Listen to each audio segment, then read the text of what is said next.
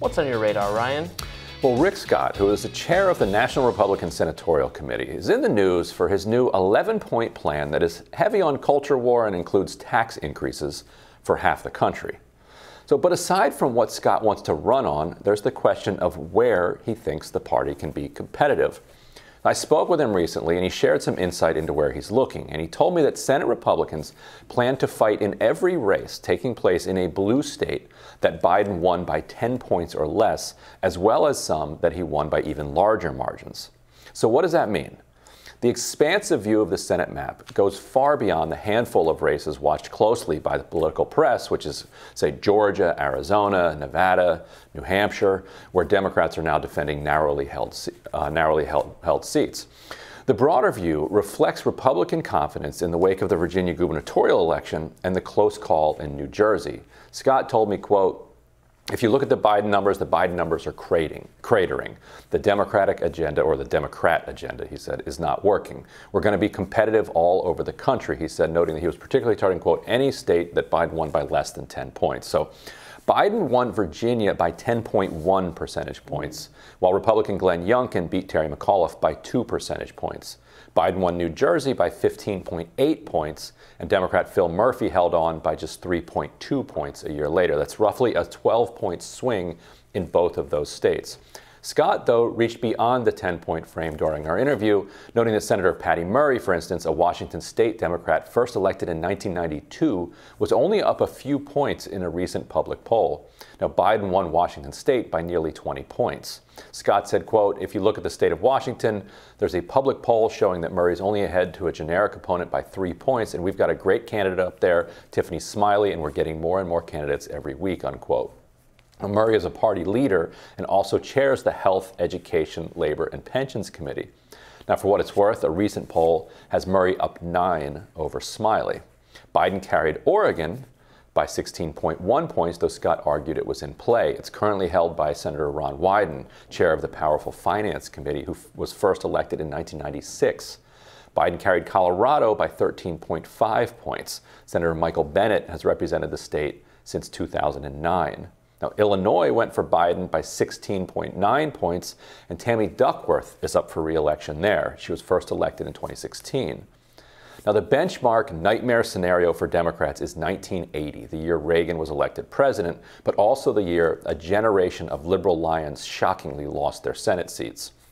Republicans that year picked up 12 seats. George McGovern went from previous nominee for president to losing reelection. Warren Magnuson, who'd been, been in office since 1944, was ousted. And so was Gaylord Nelson. He was the founder of Earth Day and one of the pioneers of environmentalism, and Wisconsin voters tossed him out. Birch Bayh, a towering liberal force in the Senate dating back to 1962, lost to the empty suit of Dan Quayle in Indiana.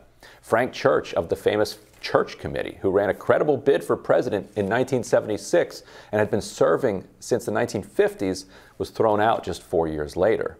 So, whether Republicans can recreate a similar catastrophe for Democrats will depend on some unknowable factors. Will Democratic voters snap back into partisan alignment for federal rather than state elections?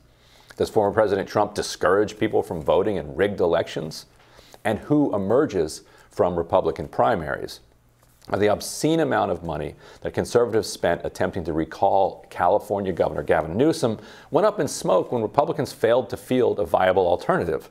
Had a Glenn Youngkin rather than Larry Elder been on the ballot, Newsom may have fared worse, though given the partisan lean of the state, ousting him was always an extreme long shot. You know, Scott expressed confidence, as any campaign chair would at this stage, and said that the party will lean heavily into inflation, school issues, crime, and the border. He said, quote, the model is talk about what you're going to do to deal with inflation, what you're going to do to deal with job creation, what you're going to do with school choice, what you're going to do to keep people safe, and what you're going to do to make sure we have a secure border.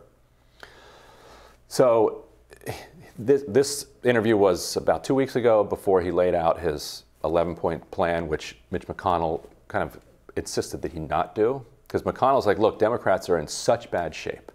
All we have to do is put up candidates like a Tiffany Smiley, somebody who isn't obviously objectionable, doesn't have a Larry Elder, doesn't give off Larry Elder crazy vibes, and just say we're not Democrats. Just do that. And so that that's his position. Except he put out this 11 point plan. Now nobody's paying that close of attention, so he can probably uh, escape some of the own goals Well- that were included in there. And most of the plan is what he just what he talked about in that Right. interview. I mean, it, it's not a it- Right. So that, McConnell's Right. good with that. Say say those Yeah. say those surface level things. But when you get into details like everybody should be paying taxes and half the country doesn't pay taxes, yeah. and you're like, well, so you want tax increases for half the country? He's like, no, I didn't say that. Like, no, you just said that. Then, Right. then you get caught up in your own. Work. I think liberals are paying a lot of attention to that, and Mm-hmm. and you sure maybe that's something that that pushes moderate independents away tiny- from. yeah, but it's a embra- tiny- it's a small thing, Yeah. and, and the the thing the thing is mostly focused on the schools, the crime, that kind of stuff, which is just the Republican Party understands that this is their way back to power. Right. Frustrate, you know, some lingering frustration with pandemic restrictions, and the and the perception that's not wrong that things are getting worse in terms of well, inflation and, and crime. Yeah. Crime is going to be a big one. We saw we remember the the backlash to, at actually high crime levels throughout the 70s, 80s, the backlash that eventually generated, but you know, g- empowering some of the Republicans you were just part of that, yeah. you were just referring to. Yeah. And it's not you can't argue against it. Things have gotten worse out there in, in real ways. And so, what do you think of some of these states? So, Oregon, for instance, extremely Yeah. conservative eastern part of the state, and then it's got Portland, uh, which makes the eastern part of the state more conservative because they hate Portland so much. Portland's, you know, been a mess. On the other hand, Ron Wyden is a super well known and bizarrely popular. He is senator popular. I have a Oregon. hard time imagining Ron Wyden losing. What about Michael Bennet in. Colorado? Yeah, or Tammy that- Duckworth in Illinois. Yeah, there. I think there would be trouble, but I, I think it actually hugely depends on whether it's Trump or not. Trump will scare Democrats straight, or Right. whatever, Fine, whatever Michael Bennet. terminology you want to Right. you want to use. Will drive them to the poll and will give people pause. There, I know people who will vote for gener- want a generic, just want an R. Just want to vote for an R. They're done with the pandemic. They hate the economy. They think Biden has no idea what's going on. I think they're probably right about all those things, but they cannot vote for Trump because Trump isn't is an odious. It's offensive buffoon. He- Yeah. he's just not a likable person.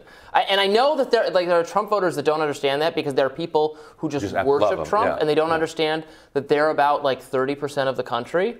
And those people were, are going to vote for any R for the most part. At, th- at this point, even if there were some, I think you know you could Well, look Youngkin at showed that, several election cycles ago. Maybe there were there were de- you know there were Democrats or Bernie voters or Labor people or whatever who were only going to vote for Trump. That was the only Republican they were going to cross Hmm. parties for. I think by now those people are basically Republicans. They've kind of been they're yeah. they're part of the party and they're going to vote for unless it's you know the most I, I offensively like white collar union busting talking down to the working class type Republican uh, the most country cl- who I who I like but but you're right sure uh, Mitt Romney on steroids Right. might turn them away but anyone else any other Republican is going to enjoy their support I suspect Yeah. regardless so you don't need Trump anymore all he can do is hurt but they also can't say no to him uh, apparently Right. so if he wants it it's his What about Washington State?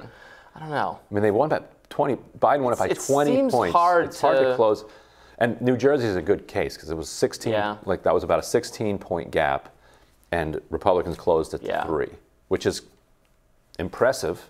And New, the New Jersey governor um, uh, Murphy was was one of the most hardcore lockdown Mm-hmm. masking supporters. I think he might have engendered a little bit of uh, a greater backlash than your average Dem because he was such a militant.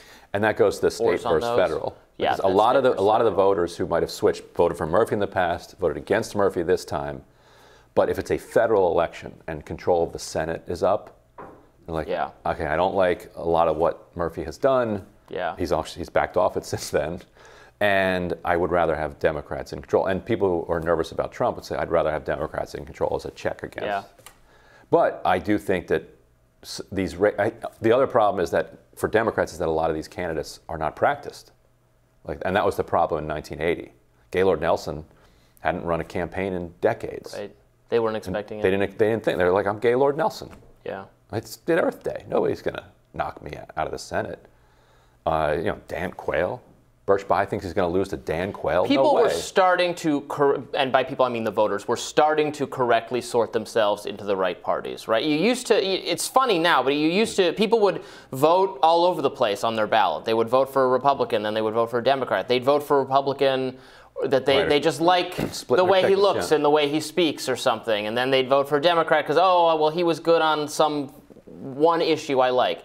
Now, most people are just voting for the Republicans or for the Democrats because they are a Republican or they are a Democrat and they agree with basically everything in that party. And there's a small, a much smaller, smaller every year slice of the electorate that is genuinely up for grabs. Yeah, and the part the Democrats at the time were a weird party still. One of the senators who lost was Herman Talmadge from Georgia, so, who was an arch segregationist and whose father was like a white supremacist and also was governor of, of Georgia. And so you have Frank Church and Herman Talmadge in the same party, which wasn't sustainable, obviously, and it wasn't sustained. I, I think the Republican strategy is clear lean into education and school choice, talk tough on crime, talk about fixing inflation, and hope Donald Trump is abducted by aliens. He, he, did, he did all of that, except then he wants to name the wall after Trump. Can't help himself. It's the notice me senpai sort of. Anyway, Uh, looking forward to what's on your radar. That's coming up next.